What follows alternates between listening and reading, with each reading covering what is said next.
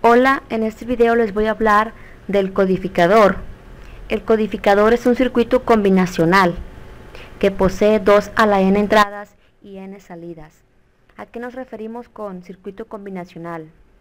Significa que las salidas dependen solamente de las entradas del circuito.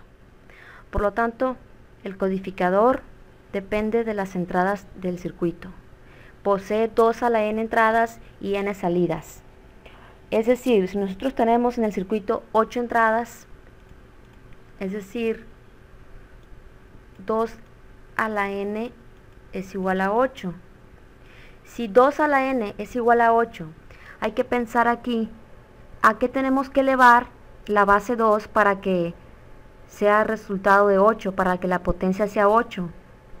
Si le elevamos a la 3, entonces la potencia va a ser 8. Por lo tanto, lo cual significa que n vale 3. Es decir, el circuito tiene 8 entradas y va a tener 3 salidas.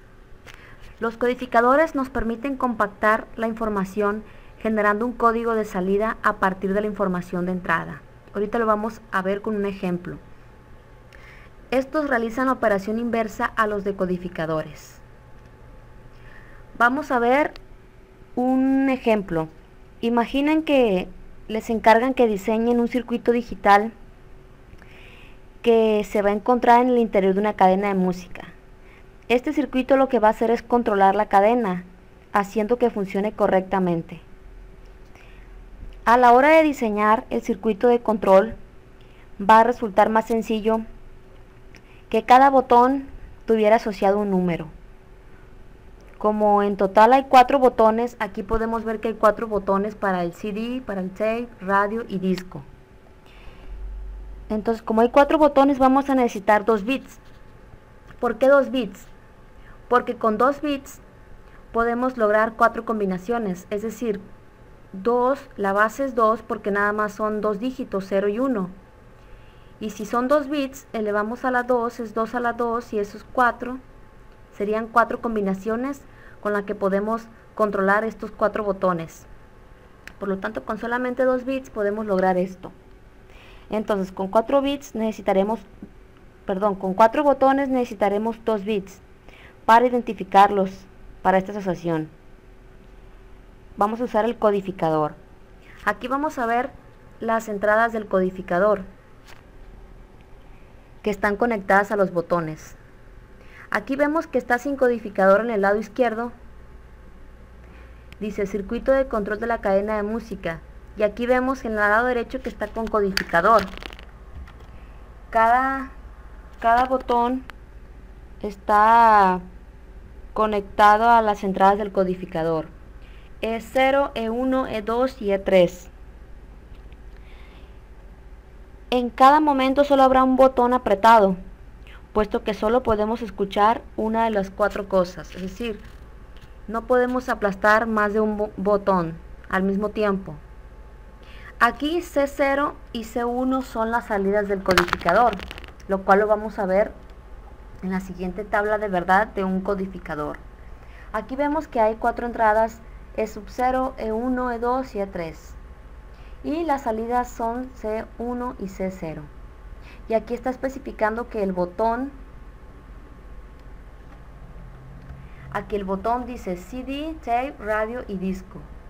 Por lo tanto recordar que, que lo que va a hacer esto es que que va a asociar eh, cada botón lo va a asociar con un número por lo tanto es 0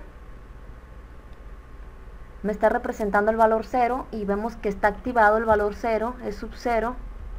Por lo tanto, la salida es 0, 0, porque 0, 0 estamos usando 2 bits. 0, 0 es 0 en decimal.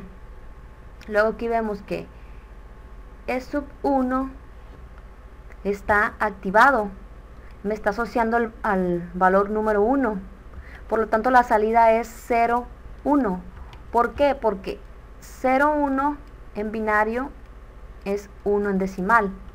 Luego aquí vemos que E sub 2 está activado. E sub 2 me está asociando al valor número 2 en decimal y el valor número 2 es 1, 0. 1, 0 es el valor número 2. Y aquí vemos que E sub 3 está activado y el E sub 3 me está asociando al valor 3.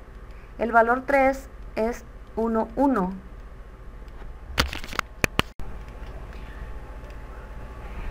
Vamos a utilizar para este ejemplo un codificador de 4 a 2. Es decir, 4 entradas y 2 salidas. Las entradas es E sub 0, E sub 1, E sub 2 y E sub 3 y las salidas son C sub 0 y C sub 1. Vamos, en la tabla de verdad, a la salida del codificador vamos a obtener el botón apretado. Aquí está la tabla del codificador que vamos a usar para, para el, el, ¿cómo se dice? El circuito que nos encargaron de la cadena de música. Vemos aquí, es el mismo caso. Aquí, aquí en letras pequeñas dice que se ha utilizado una X para indicar que esa salida nunca se producirá. C sub 1 y C sub 2 siempre valen X excepto para cuatro filas, es decir, para esta fila, esta fila, esta fila y esta fila. Vemos aquí que esta combinación, la primera combinación, esta, todos están desactivados, por lo tanto esa eh, salida nunca se va a producir, esa no va a causar ningún efecto en los botones. Como todos están en cero, ni siquiera está activado el valor cero, están, no se activan eh, C1 y C sub 2, las salidas. Luego, la combinación 2 es 00001, si se activa porque me está activando, pone un 1 en E sub 0. Por lo tanto, está diciendo que se activa el valor 0 y aquí me asocia su valor 00 que es 0. La combinación 3 también funciona porque me está activando E sub 1 y con eso me asocia el valor 01 en binario, lo cual es 1 en decimal. Y luego la combinación donde me activa es sub 0 y es sub 1, eso es 3. Esa combinación, no, perdón, esta combinación no me la va a, a tomar en cuenta porque me está apretando dos botones, es decir, está diciéndome que está activado el valor 0 y el valor 1, por lo tanto, esta combinación no. La voy a tachar. Esta no ni esta. Luego la siguiente. La siguiente combinación me está activando el valor E sub 2 por lo tanto sí me está activando el 2 que me lo, me lo asocia al 2 en binario y eso es 1 0 eso es 2 en decimal 1 0 el siguiente me está activando E sub 2 y E sub 0 es incorrecto está asociándome dos valores, el 0 y el 2. Por lo tanto, esta combinación no es. Estas no, no se van a producir estas salidas. Luego me está, me está activando E2 y, y, E1, por lo tanto, tampoco. Y luego me está activando 3 aquí, menos. Luego aquí me está asociando el valor e3, el cual es 3 en binario y es correcto. Me asocia E3 con 1, 1 que es 3 en binario. Y ya las demás combinaciones no, porque aquí me está considerando activados dos valores, el 0 y el 3, es decir, es 0 y el 3. Tampoco, y las demás tampoco, y esta mucho menos porque está activándome 4. Por lo tanto, las únicas combinaciones válidas van a ser 0, 0, 0, 1, 1, 0 y 1, 1.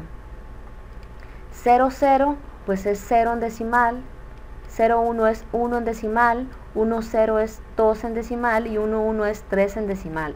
Y aquí vemos que, es correcto porque nada más se está considerándome valores del 0 al 3. Es sub 0, es sub 1, es sub 2 y es sub 3.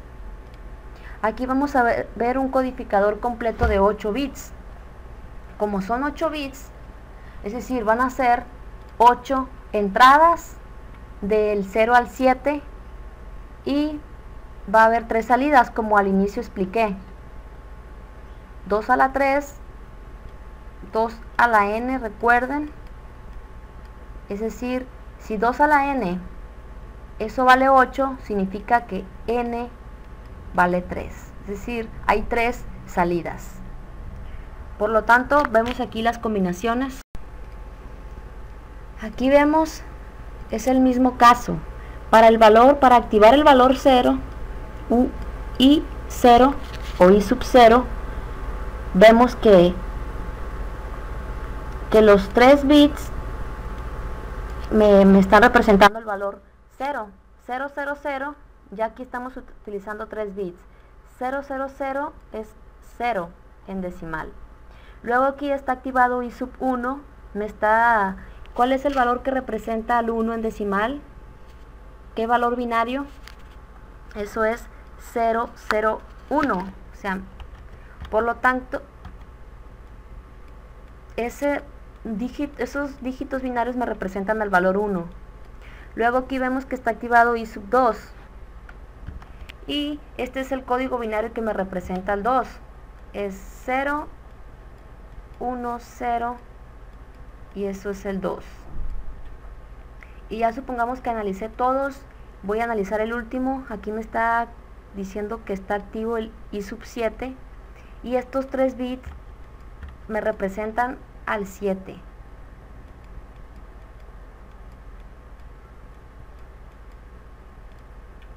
Y este es un codificador decimal ABCD. Sabemos que el BCD utiliza grupos de 4 bits. Vemos aquí es el mismo caso, vemos si aquí está activo, están todos desactivados, eso me representa, eh, aquí me está considerando valores de 1 al 9, porque es código en BCD. Por lo tanto, todos están desactivados, porque todos están en ceros en, en las salidas. Aquí las salidas son ABCD. Ya si se activa I sub 1, vemos que, este es el código que me representa al valor 1 en decimal. Luego el i sub 2, pues este es el código que me representa el i sub 2. Y ya por ejemplo, eh, para aquí,